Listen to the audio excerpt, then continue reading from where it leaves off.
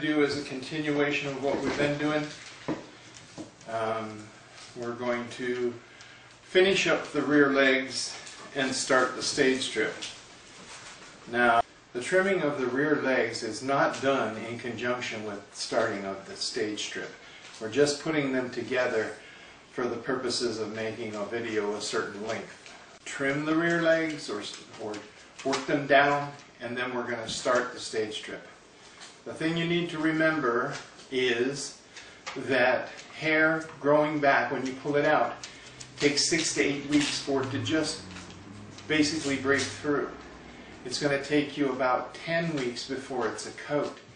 And if you're working with furnishings, you're talking 12, 16 weeks before you've got anything that you can work with on an Irish Terrier. An Irish Terrier requires very short hair. So if you're working with a wire or an Airedale or something, you're going to want to work way in advance of that. So once again, using some hydrating spray, you lightly mist, and I mean lightly mist, the hair. What that does, it hydrates the hair, of course, that's what it's supposed to do. It also um, gives the hair a little elasticity so that when you're combing through it, you're not just going to rip it out or break it off. Then I'm going to pull it out like I've shown you before. Now we can see, if you look at it, there's like a line right along here that I'm going to follow. That's more than I normally would do, but because we're pulling the dog way back, um, okay. So, do you see that line? Mm-hmm. All right, so we're just going to start. And we're just going to pull that off back to that line. Now this is way too harsh for like an everyday go to the dog show kind of a thing, but it's not harsh for what we're trying to do here, and that is grow new leg hair. That quickly, I've put a new line on there. Pretty quick. huh? Mm-hmm. Okay, so let's move around to the behind area. Okay, so now we have to trim the inside and the outside of this hair. So again, you can see a line right there where you want to just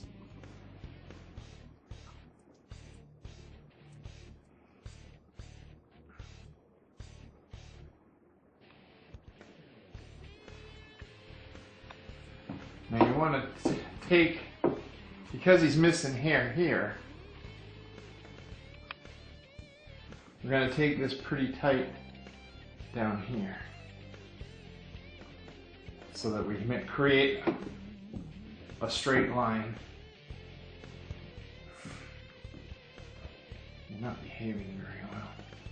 We're trying to create a straight line there. You can use your comb as a straight edge. Now we're going to come over here and try to create the same thing. Well, to do that, we're going to have to pull a lot of this off. There's way too much hair in here.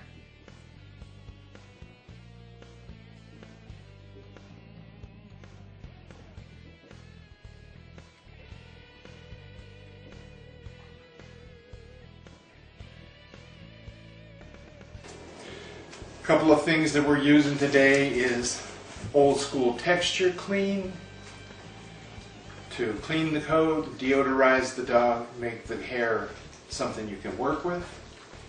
We're using uh, Panagenic um, uh, hydrating spray.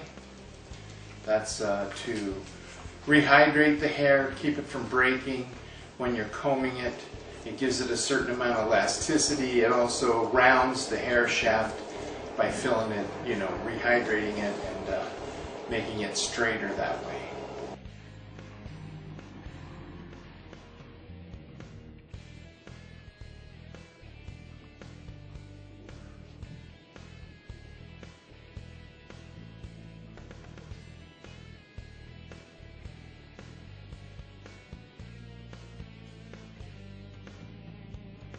So it's not going to look great right now, but it will. Now I'm going to do the back here.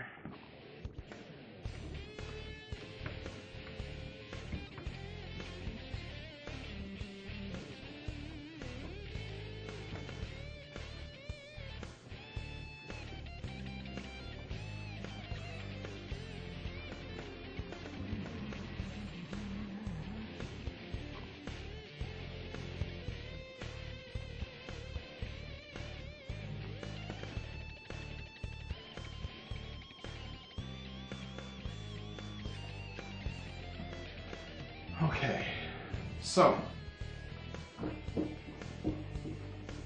one of the things we're going to need to do on these rear legs is make sure we take good care of this hair in here so that it's going to grow back and he's not going to wear it off in the meantime. So we're going to put him in some good cream rinse and good hydrating spray. Um, and even maybe some hot oil treatments.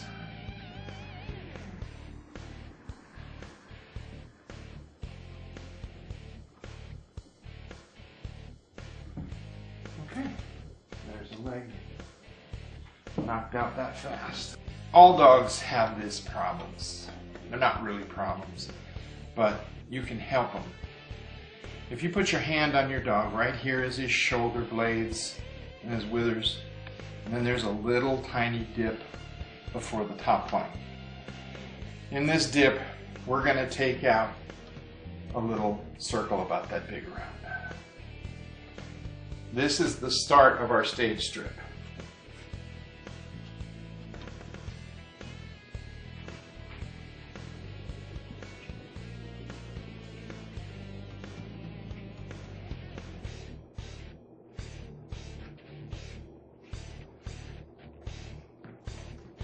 All you want to do is just make sure you feel it, know where you want to pull this out.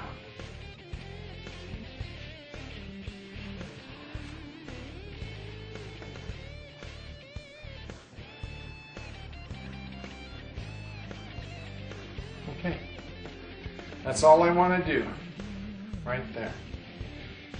Now, I want to do just right here where the neck hits the shoulders. Just a little tiny spot right here.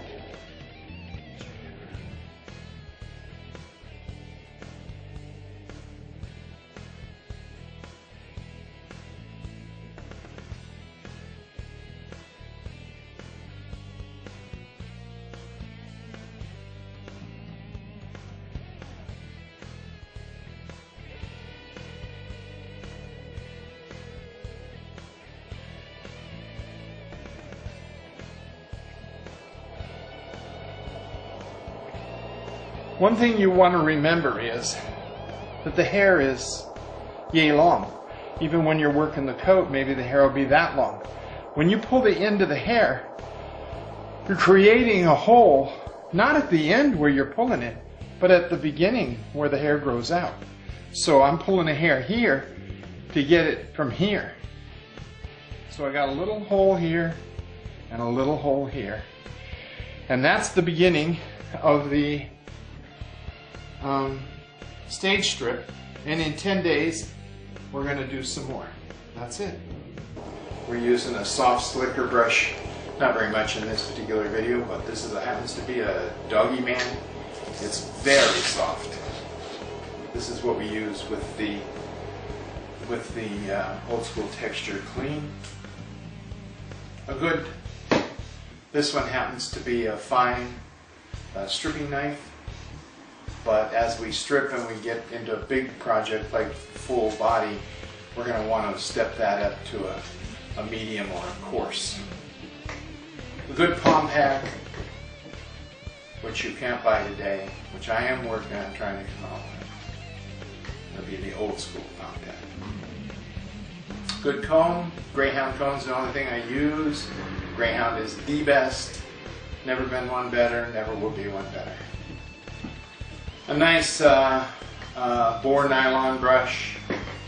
Uh, this one happens to be uh, from Ashley Craig, and uh, it is an absolutely wonderful coat, or brush to use on the coat.